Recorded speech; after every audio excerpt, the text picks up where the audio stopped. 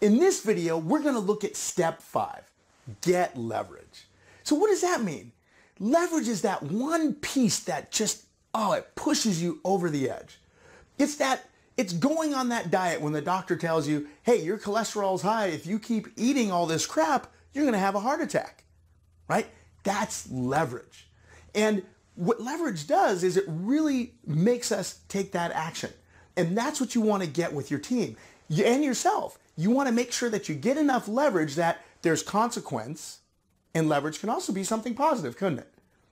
Okay, so you want to make sure you get the leverage. Typically you start with pain because if there's a pain point, that gets people into movement.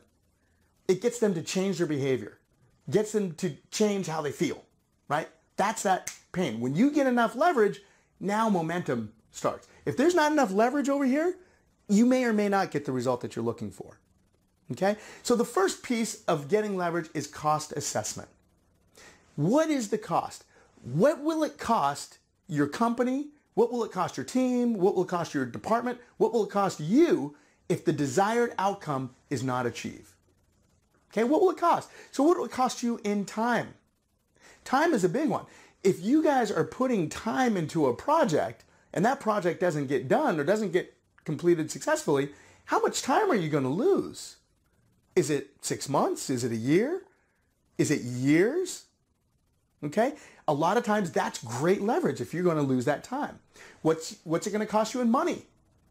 Money is a great leverage piece. If we don't get this done, we would have lost all this money. Okay? I love the, the story for GoDaddy. Right? So when GoDaddy first came out, they put all the investors' money into a Super Bowl ad. And that was leverage. If that Super Bowl ad did not take off and they didn't get those customers coming in, that would have been a pretty bad gamble. But luckily for everybody, it worked out. So now we have GoDaddy, right? But that's big leverage. Hey, we're putting a ton of money into this thing. We better get the result. Okay? The third thing, what's it going to cost you in market share? Okay? Are you going to go from the number one company down to number 10? Right? Are you going to lose, how many clients are you going to lose if you're not successful? Okay? So you have to do a cost assessment and get very clear and very specific and you want to share that with your team so that everybody can connect to what leverage that is. One of my favorite examples of leverage is I have an executive coaching client and he runs uh, an international global company and we were working on a project and we were talking, I was looking for some leverage. I'm like, what's the leverage that I can really use to get him to take action? And so here's what we came up with. I told him to think of a company or a person that he really didn't like, right? And this guy is very friendly. He likes most everybody. I go, think of one that you really dislike. Okay? And I had him do that.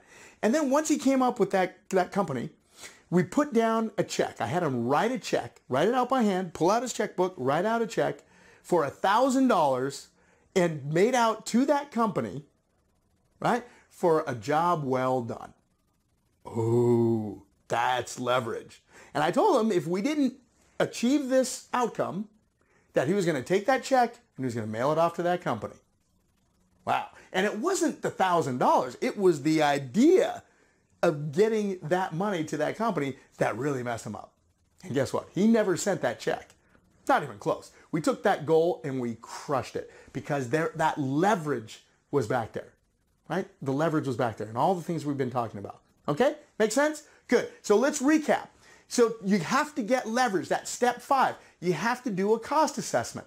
What will it cost if the desired outcome is not achieved? And you have to get very clear and you have to share that with your team. What will it cost you in time? What will it cost you in money? Market share, etc. Whatever it is for you guys, that's really going to hit home. We're going to go a little deeper into this on the next video. So we'll see you there.